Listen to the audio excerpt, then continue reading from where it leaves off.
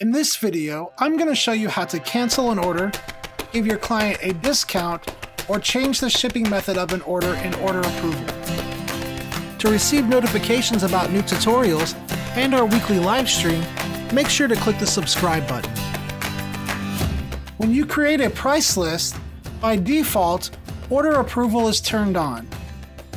This will require any orders your clients place to be reviewed and approved by you before being sent to the lab for fulfillment.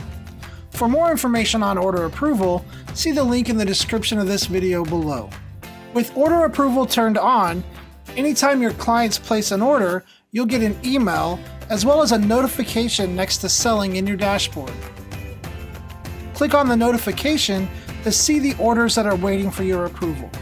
Now, since your clients are charged at the moment they place their order, your orders must be approved or canceled and refunded within 30 days. You can see how long an order's been waiting here. Click on an order number to view the full order details.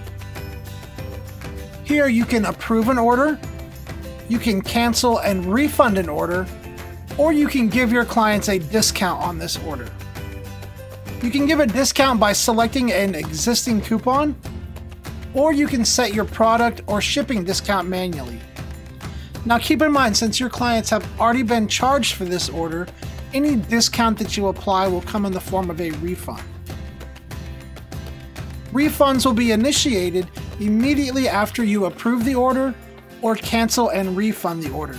However, they can take 2 to 10 business days to post to your client's account depending upon their bank.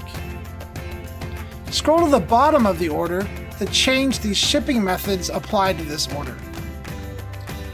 You can have this order shipped to you first and then deliver the order to the client, or you can change the shipping method that the client chose for this order. Keep in mind that if you switch the shipping method to something more expensive than what your client chose, the difference will be taken out of the order revenue. Once you're happy with the changes that you've made, click Approve Order.